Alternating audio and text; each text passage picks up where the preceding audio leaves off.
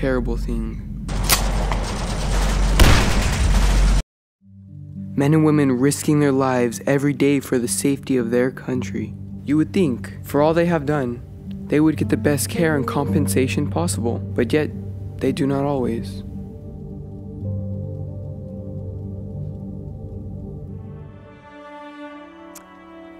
Hi, I'm Anthony Anaya.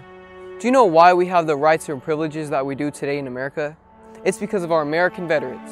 They are some of the strongest and bravest men and women out there.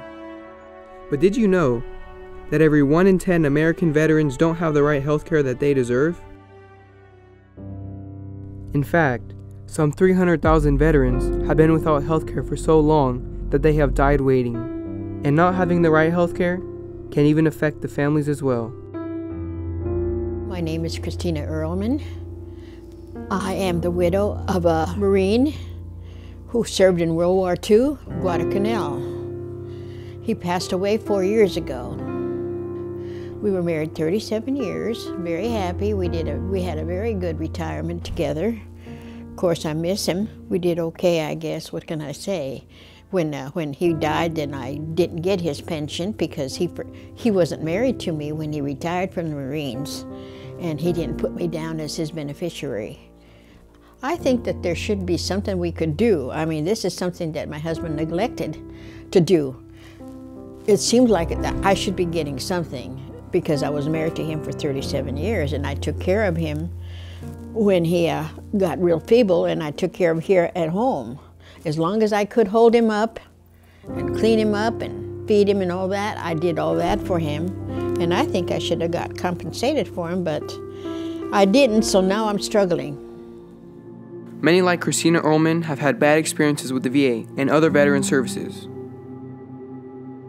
I think people are concerned about the time it takes to uh, get approved, you know, and I went through the similar kind of thing. In fact, I was denied the first couple times until I was uh, at a school in Texas, and I was in school with a guy that had worked for the VA, and uh, he told me to apply again, and uh, so it took me two or three years to, to finally get my uh, initial benefits. But I think, you know, the initial getting people uh, evaluated, get their initial evaluations done probably needs more resources. Many of our veterans that have come back from war are traumatized, and they do not have the right care that they need. We need to do something about this. Sandy, my granddaughter, she was in the Air Force. She had three deployments to, uh, one to Iraq and two to Afghanistan. She came back a mess from Afghanistan. I mean, right now she's having very, very bad problems because she came back with that PTSD, and uh, she just didn't come back the right, the same girl that went in. PTSD is all new, so obviously the VA now has to staff up and get, you know, maybe more mental uh, health doctors than they do maybe primary doctors, some of that. So it, it has to become a priority. This means we must remove the stigma associated with seeking help. This means we must hire more mental health professionals and more who have served in combat zones themselves. This means the VA must provide after hours services. Some of our veterans have even had bad experiences with the VA.